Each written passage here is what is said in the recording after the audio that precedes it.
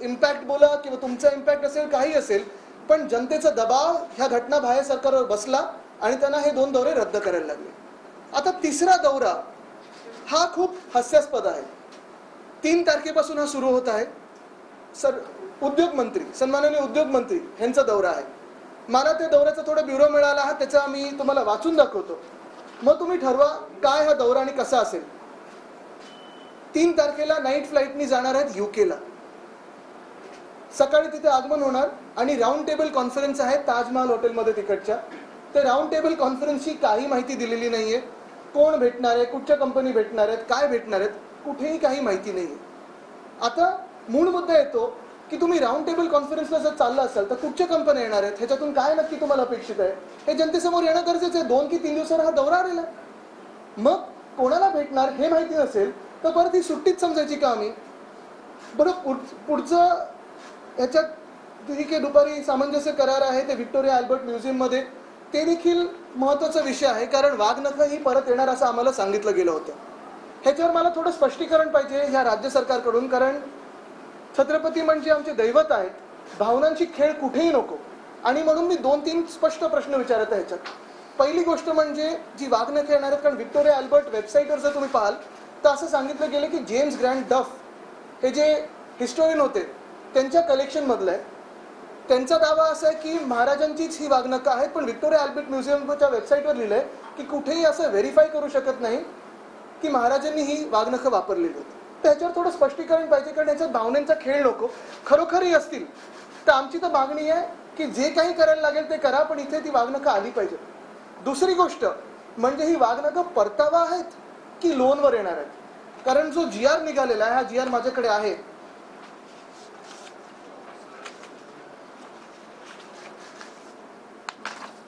हा जो जी आर आहे.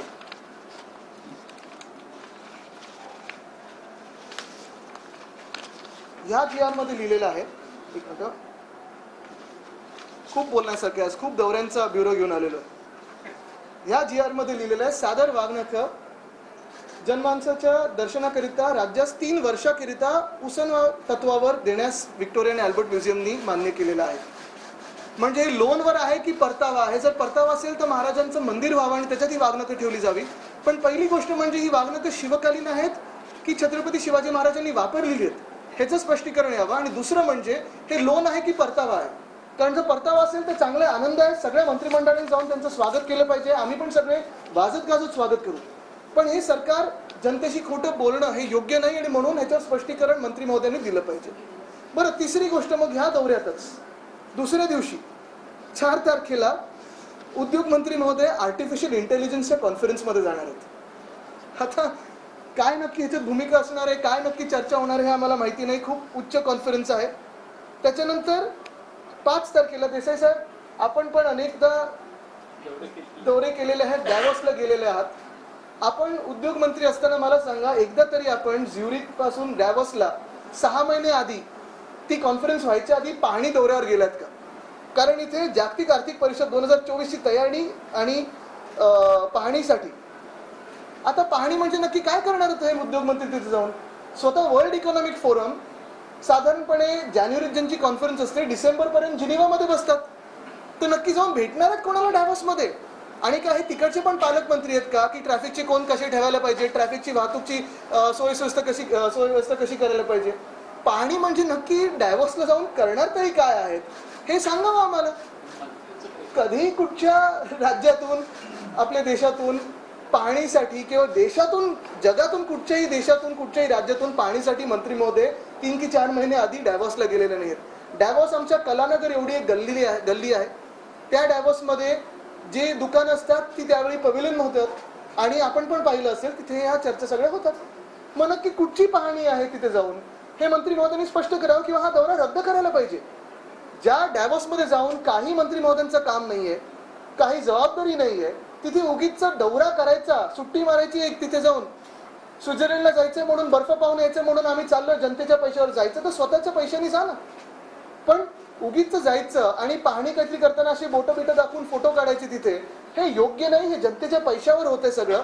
हे तुम्ही पण समजलं पाहिजे आणि आम्ही पण समजलं पाहिजे आणि हे जर दौरा हा पुढे गेला तर मी स्वतः रत्नागिरीमध्ये जाऊन त्यांच्या मतदारांना पण विचारणार आहे त्याच दौऱ्याच्या वेळी की हे योग्य आहे की अयोग्य आहे? मग तिथून म्युनिकला जाणार आहेत मंत्री महोदय तिथे पण एक राऊंड टेबल कॉन्फरन्स आहे कोणाबरोबर माहीत नाही. आणि मराठी डायस्पोरा बरोबर तिथे चर्चा आहे. ठीक आहे मराठी आपले डायस्पोरा महाराष्ट्रातून तिथे लोक तिथे स्थायिक झाले असतील चर्चा करा नक्की करा. पण मूळ मुद्दा हा आहे की हा दौरा निघालाय कशासाठी? हे तर कळलं पाहिजे लंडन दोन दिवसासाठी आम्ही चला बघून येतो स्वित्झर्लंड बघून येतो म्युनिक बघून येतो. पण हे जनतेच्या पैशावर कशासाठी होतं? आणि परत एकदा मी सांगतो हे उद्योग मंत्री महोदयांचं असेल किंवा अध्यक्ष महोदयांचं असेल किंवा अजून एक दौऱ्याचा मी आता उल्लेख करणार आहे ही भूमिका मी जी घेत आहे ही कुठच्याही वैयक्तिक द्वेषातून किंवा वैयक्तिक रागातून नाही आहे. वैयक्तिक हा ही भूमिकाच नाही आहे. जर त्यांना जायचं असेल आनंदात जावं त्यांनी मजा करून यावी जेवढे दिवस जायचं तुम्ही जा जबाबदारी कोणाला दुसऱ्यावर टाका. पण एकच सांगतो तुम्हाला मी की हे जनतेचे पैसे उडवू नका. आता तुम्ही पहा ना हे जे डायवॉर्सचा दौरा आता काढलेलं आहे त्यांनी आता महिना कुठचा चाललाय? सप्टेंबर. उजडणारे ऑक्टोबर. ऑक्टोबरमध्ये जाणार पाहणी करणार आहे कधी हे? कॉन्फरन्स जानेवारीमध्ये अठरा जानेवारीच्या पुढे. मग नक्की जर पाहणी